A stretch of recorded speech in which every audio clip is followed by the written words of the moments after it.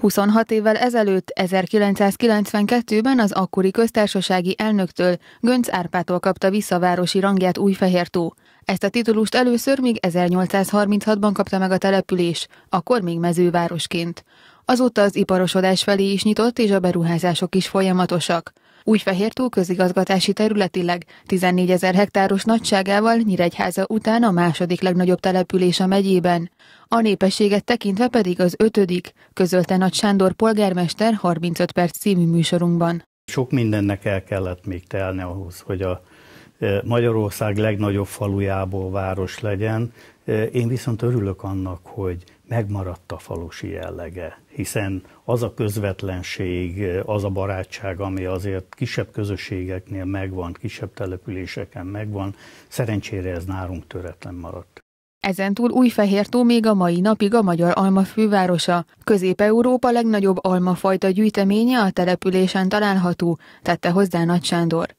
A város életében számtalan mérföldkő volt. Az első igazán komoly fejlődés akkor történt, amikor a 150-es telefonközpontot sikerült lecserélni a településen, de a gázhálózat kiépítése és a 2000-es években épült iskola, valamint az útfelújítások is a komoly beruházások közé tartoznak.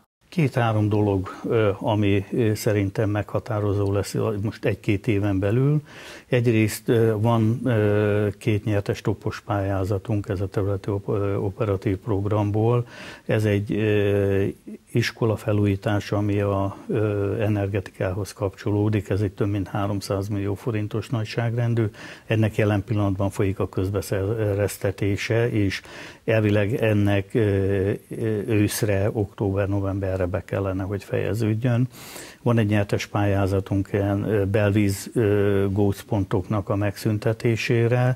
Ez azért négy olyan pontot érint a város életében, ahol egy-egy nagyobb esőzés alkalmával folyamatosan belvízvédekezésre volt szüksége, és ez nagyon fontos.